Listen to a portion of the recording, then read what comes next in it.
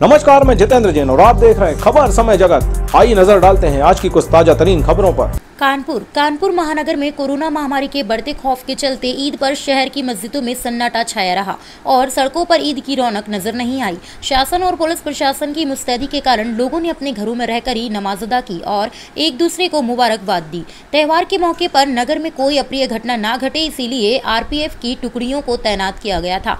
जगह जगह पुलिस ने बैरिकेटिंग लगाकर वाहनों की भी जाँच की। बड़ी ईदगाह पर पचास लोगों की ही नमाज़ अदा करने की इजाज़त दी गई थी। त्यौहार पर पूर्व नियोजित तैयारी के साथ मुस्लिम बाहुल्य क्षेत्रों में आरपीएफ की टुकड़ी के साथ शासन और पुलिस अधिकारियों ने फ्लैग मार्च करते हुए जनता से अपील की कि सार्वजनिक स्थानों पर भीड़ न लगाएँ और घरों में अपने परिवार के साथ स्वास्थ्य का ध्यान रखते हुए त्यौहार मनाएँ। बजरिया स्थिति नूरी मस्जिद के इमाम शाह आलम कादरी ने अपील भी की कि सभी लोग कोरोना महामारी के चलते घरों में ही नमाज़ अदा करें।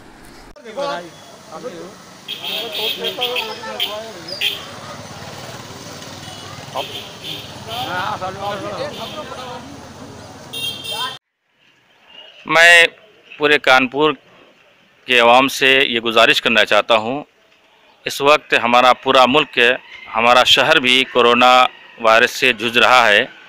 पूरा मुल्क हमारा कोरोना वायरस में मुबतला है। तो आप लोगों से ये अपील करना चाहता हूँ कि आप लोग अपने घरों में रहकर ईद की खुशियाँ मनाएँ बिला ज़रूरत घरों से बाहर ना निकलें, जब भी निकलें तो मास्क लगा के लाएँ। शासन और प्रशासन की तरफ़ से जो गाइडलाइंस जारी किया गया है, उस पर आप भरपूर अमल करें। और साथ ही साथ आज ईद का दिन है, हम सब लोग मिलकर अल्लाह ताला से दुआ करें, हमारे मुल्क से इस वबा का खात्मा फरमाएँ। और जो बेचारे इस वक्त इस बीमारी में मुबतला है, जहाँ तक हो सके एक इंसान के नाते इंसानियत की भरपूर मदद करनी चाहिए। खबर समय जगत के लिए कानपुर से मुकेश दीक्षित की report. For latest news, subscribe to our channel and press the bell icon.